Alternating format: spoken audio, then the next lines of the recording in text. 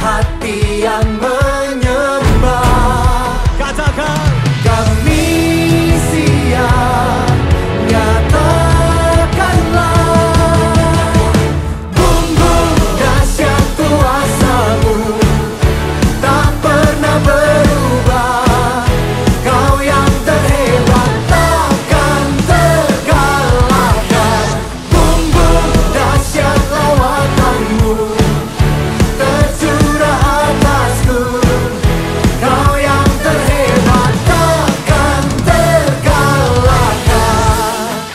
tangan dong yang paling meriah bagi Tuhan kita.